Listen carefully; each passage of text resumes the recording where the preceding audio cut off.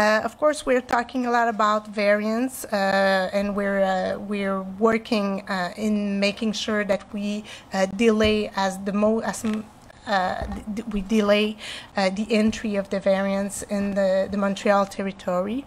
We're talking about three variants uh, that are of concern for health, uh, health authorities, uh, and we know that those variants are more transmittable. And for the UK variants, we also have data or that, that show us that they are more, they, they cause more severe forms of the illness.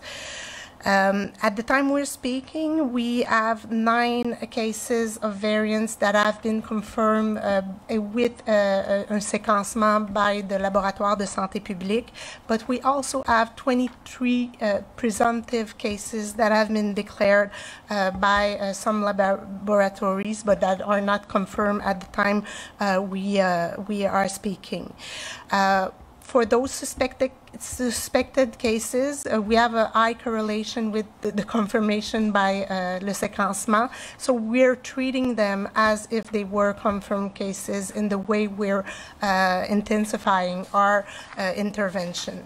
So what we're doing, of course, is uh, to delay uh, the entry of this variants and delay the. what we do not want is that the variants be the principal uh, virus that is circulating in the community. So what we're doing, of course, is surveillance. Uh, when we do our tracing, we're more uh, intense and aggressive. So we're uh, looking at, we're searching of contacts and contacts of contacts, and we're going on the backward tracing, uh, looking at the, the index cases and their contacts also. And of course, if the variants is associated with a, um, a school or kindergarten, a daycare center, or, or a workplace, we're going to go with uh, massive screening, and uh, we may have to uh, close more rapidly classes or schools. Uh, so uh, this is what we're doing as public health authority to delay the entry of the variants in our territory. But I think uh, I have a message also for the population. Uh, even though we have reopened some uh, commerce, uh, some businesses, uh, and uh, and some activities, outdoors activities, and I think we we needed so. Uh, we have to maintain high vigilance, uh, reduce our contacts, maintain distanciation the two meters. of course, if you have symptoms, do not go rapidly get your test. Do not go to work. Do not send your child uh, to a school or a daycare center. Uh, and of course, uh, while we're gonna, we have we have to protect elders, knowing that we're going to be able to vaccinate them soon.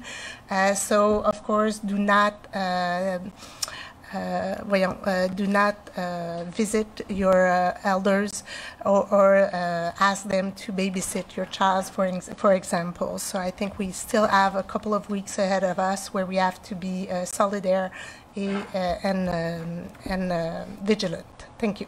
Can you uh, just tell us again in English what the situation is with variants uh, in Montreal now? And can you tell us as much as possible about the actual locations on the island? You've said uh, there is one school in Outremont that has um, a presumed case.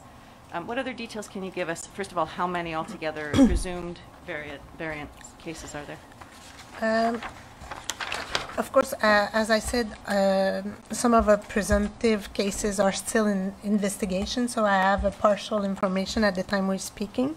Um, at the time we're speaking, we have nine cases that are confirmed by séquençage at the LSPQ, 23 that are uh, presumed or presumptive cases that have been declared by uh, one laboratory in uh, Montreal that is able to do the, the criblage, and 12 cases that are um, by uh, epidemiological, epidemiological link, so it's uh, secondary cases of uh, cases. Um, most of the case, the first cases that we had were around uh, or families, uh, so they did not uh, produce secondary cases uh, out of this uh, the family circle. Uh, but we had uh, a, a beginning of an outbreak in one school um, that um, was linked uh, to uh, when we look at the the index cases, we found out that it was one of uh, our suspected cases.